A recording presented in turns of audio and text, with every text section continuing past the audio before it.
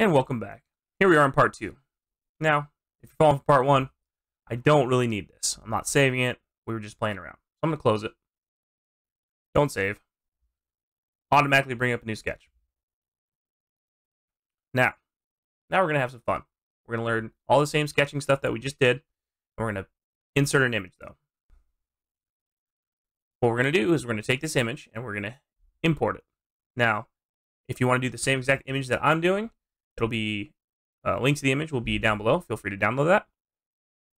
Save it to your computer, anything you want. But we're going to make sure we insert the canvas first. So we're going to come up here, go to canvas, click insert, find it on your computer. We're using the white ranger icon because I'm doing the white ranger coin. If you have a different coin, no big deal. And again, you can put this on any plane you want, but we're just going to stick straight to the top. Hit OK this little corner, you can basically size it up, big or small. It doesn't really matter at this point because we're going to calibrate it, but big or small. And I like to make the canvas 50% opacity. So that way I can kind of see what I'm drawing on top of it. Some people like less, some people like more. I use 50, it goes that way. Click OK. Now, some of the stuff that people want to do beforehand is know your measurement sizes. So this coin, I want it to be 50 millimeters wide. And it's just the number I want, size I want. So we're going to go with that. We're going to come over to canvas. We're going to right click and we're going to calibrate. And what this is going to do is get our canvas size, the exact size that we want. I'm going to go left side, right side, A straight line as humanly possible. I'm going to calibrate to 50. And what that did is from the two points I clicked, made that 50 millimeters. So we now have that right size that we want. I'm going to go ahead and shrink that down, no big deal. We're going to create a sketch like we did in part one click create sketch. I want this plane because that's where it's on. You guys did rotate around it. You'll see that obviously it's only on the one plane. And we're going to start a sketch.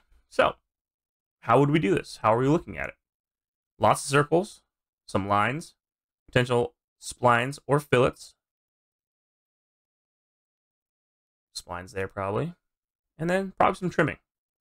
And then a mirror, because if you can't can't tell, this thing is directly down the middle and a mirror across. So we're just going to start right now, right in the middle. We're just going to split this thing right down the tube. It doesn't really matter if you go up and down, as long as you have a line, that's your mirror line. That's what we're going with. It's going to go in the middle. Now, want the outer edges. So we're going to do circles. Circle one. Now, a lot of people might just eyeball this. I want it 50, right? That's what we said, 50 millimeters. So you can click this and you can see that it's going to be 51.92. I don't want that. I'm going to type it in. Make it 50. Now, we have circles within circles. And then we're going to trim everything else out. So, I'm going to hit that O button for the offset. Click the circle that I want to offset, and bring this in. Now, I prefer whole numbers, or at least quarter numbers. So what I'm going to do is find out right about where I want it. Looks like minus 2.59, so I'm going to make that minus 2.5. And hit enter. Now I need another circle because it's offsetted there again. So we hit offset, hit the main circle. Now something you should know is you can't offset an offset. So you're going to have to keep using the same circle unless you build another one. So make sure you go back to the same one, but you can always offset that one. So we're going to suck this back in again. See where the curve of the line goes. Looks like about 375. So I'm going to go minus 3.75. All right. And then it looks like we have one more tiny one because that looks like the same curve. It might not be, but I'm going to offset one more time.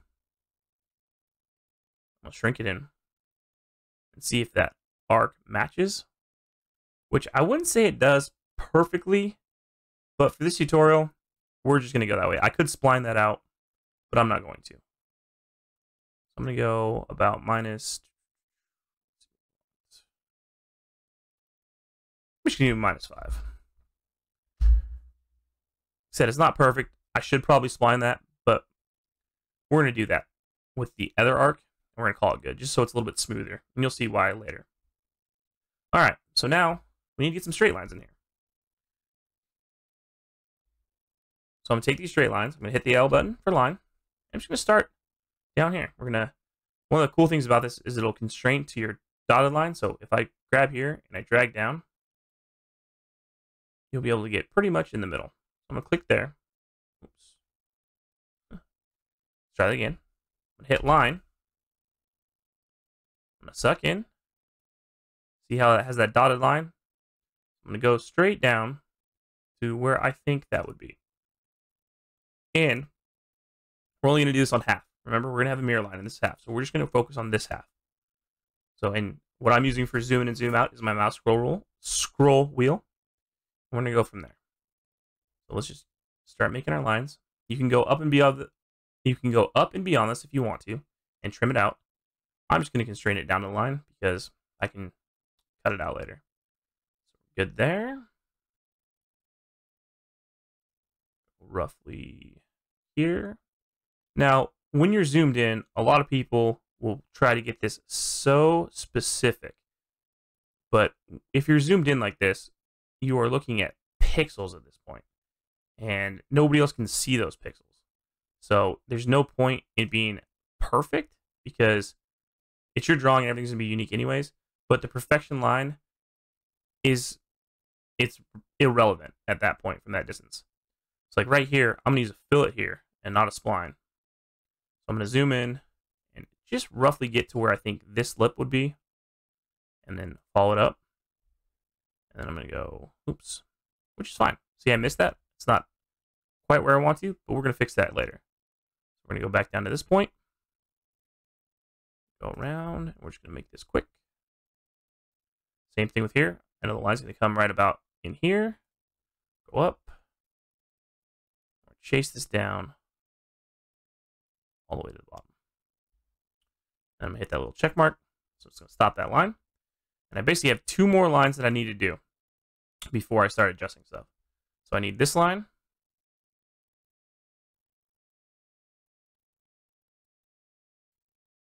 Hit OK. I don't need any more lines. Now what I'm going to do is these are parallel to each other. So what I'm going to do is I'm going to offset this line. Again, try to make it to about where you think it'd be. And that way you know this line is directly parallel with that. Now actually, what I'm going to do is delete those two because I didn't like the way that first line was. I'm going to redo the line Roughly there. There. We're going to hit OK. We're going to offset.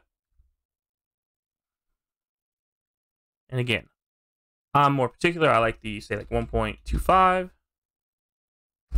But we know these are parallel. So, perfect. And lastly, but not least, we're going to need to make these curves, which we're going to use our splines. So we're going to come up here, click the spline tool. I'm going to think it looks about right here. And here, basically, every time you click, it's going to help arc where you want it to go. And this doesn't have to be perfect because we can adjust it. And we're going to do some adjusting so I can show you that. But the shorter you go, the more curves you can have. So I kind of go in between. And once you once you use a lot of splines, you get really used to this. And it's just kind of an in-between of when to super hard do it or not. But we're going to go roughly about there. All right. And then if I don't think that is good, see how it kind of looks like it bows a little bit there. I'm go back to select tool. I'm just going to move this out just a little bit. Okay. And then this one has a much sharper edge. Oops. Down here, that didn't look good either. So we're going to go back to the spline tool. Start at our bottom line zoom a little bit. And we're just going to kind of trace it on down. Now, one of the things that I would recommend with splines is make sure that you're kind of on the inside of your shape on and not the outside. It seems minuscule because you're gonna you can adjust later, but inside of the image just tends to make it closer to what the curve should be. But we're gonna go from there. And again, I'm gonna come back in here, hit select, I can adjust these out a little bit.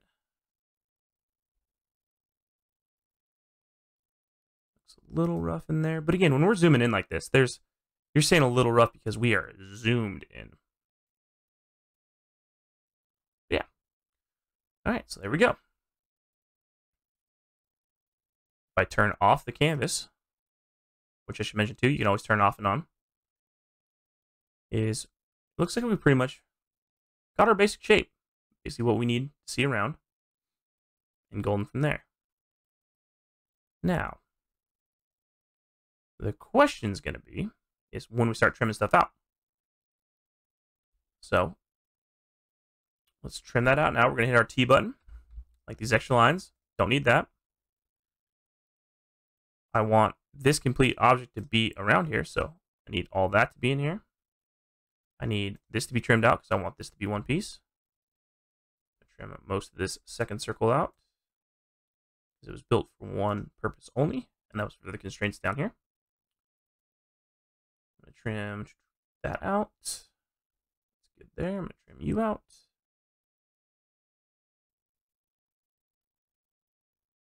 I'm going to hit select. We'll see what we got. So, if everything has worked right, right now, you're going to see all these should be selected because everything but this hole, which is fine. Same thing here. You can see all that's highlighted because there's a hole there. And then you should be able to see this all as one piece. Now, still need to fill fillet these though, right? Because these have a little bit of curves. So we're going to come back in here. We're going to hit the fillet button right here. We're going to select these two. And we're going to move it on down. And again, we're just eyeballing this. I mean, this looks pretty good. Pretty zoomed in. Got that curve. And that was just two straight lines. Boom. Now it's curved. I'm going to hit enter. And we're going to do the same thing up here. One has a little bit, actually, hold on. Hit escape. Select. I want to see this dragged over a little bit more. Remember we said we thought we might have messed up these lines just a skosh. So there we go. I like that better. So now we're going to hit that fill one more time. Select two buttons, or two lines. Fill it a little bit. Hit enter. Perfect. All right. Now, we need all these that we just drew to mirror over. What I'm going to do now, actually, because I don't need this constraint anymore. I'm going to delete that. And what we're going to do is we're going to mirror across this plane. So, I'm going to go back to the mirror function. I always like to select my line first, because when you select your line first, every time you select a new line, you'll see where it goes on the other side. I'm going to select, select, select. We're going to turn canvas off while I'm doing this so you can see. See how it's building the lines in as I select them. Make sure you're selecting your curves.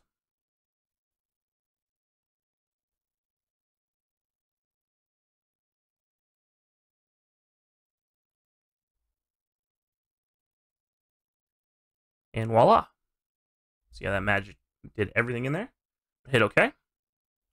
I'm going to trim out this middle line because I don't need it anymore. Basically, all that did was all the mirror objects were in there. So, that's our shape. That's exactly what we wanted. That's the coin from the canvas to there. Now that we have the shape done, actually, I forgot one thing. So most coins have a little outer edge to it. Can't really see it on this one, but like think like if you look grab a quarter, the outside edges of that, we're gonna make sure that we have those little dimples out there. So what I'm gonna do is I'm gonna come up here.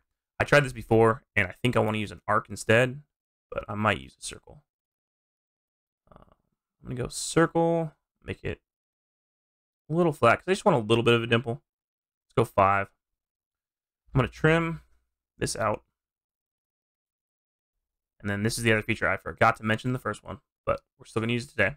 So this, I don't want to do that 100 times around, you know, the 360. So what I'm going to do is I'm going to create circular pattern.